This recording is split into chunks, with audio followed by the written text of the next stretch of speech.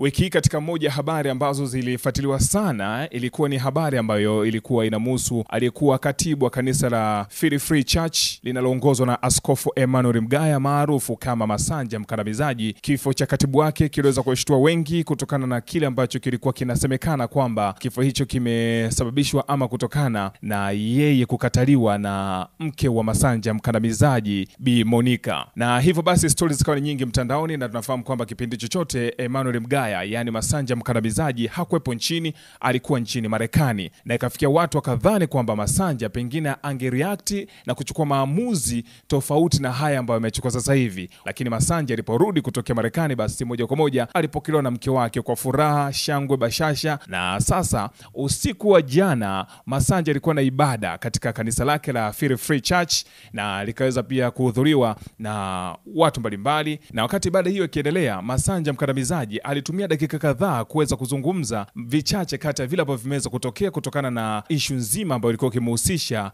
marehemu aliyekuwa katibu wa kanisa hilo pamoja na mke wake kwamba walikuwa kwenye mahusiano. Kamwe hafikirii wala hadhani kama atakuja kuachana na mke wake. Hata kama ikitokea wakaachana, basi akiambua achague nani ambaye anastahili tena kumuoa, basi atarudi kwa huyo huyo mke wake wa sasa, Bi Monica.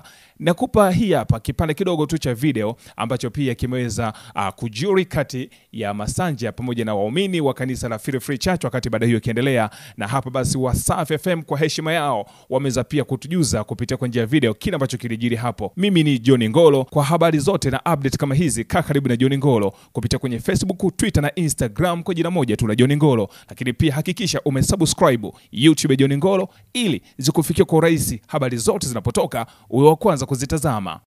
Yaani namwachaje huyu msichana hivi? Hebu mwangalie kikawaida, nimwache huyu dada alafu yani huyu hata ndoa ziishie leo zote, alafu kesho tuanze kuwa upya, namrukia huyu huyu. Nataka niwaambie waelewe vizuri, yani kwa lugha rahisi, nataka niwasaidie kwa lugha rahisi. Ninamshukuru Mungu kwa sababu Mungu yuko kazini. Yote ambayo wanangu mnayasikia, msiende na mikumbo ya watu wanachoongea endelea kuamini katika ukweli ya kwamba tunachokwambia. Mke wangu mimi ni mke ambaye mmeishi naye hapa kanisani, mnaelewa, ni mke anajichanganya na nyinyi, ha, hatengenezi distance between nyinyi na sisi. Same thing to me, na hili ni darasa nililifanya kwake. Anaongea na nyinyi watu wote, anacheka na watu wote. Hivyo ndivyo huyu mwanamke alivyo. There is no way tutengeneze mazingira hapa ya kumwambia hapana, usiongeongee na watu unajua. Natamani dunia ielewe leo kwa jinsi ambavyo namuelewa huyu msichana. Hebu hebu tuchukue uchungaji tuweke pembeni, tuchukue kanisa tuliweke pembeni. Yaani kwa mfano, si nimemuoa huyu dada, sio mchungaji, si, hakuna kanisa, alafu nimemkuta amepiga game na mtu ile face to face, namkamata kwanza wife, alafu nampima yule jamaa na mudu au si mudu.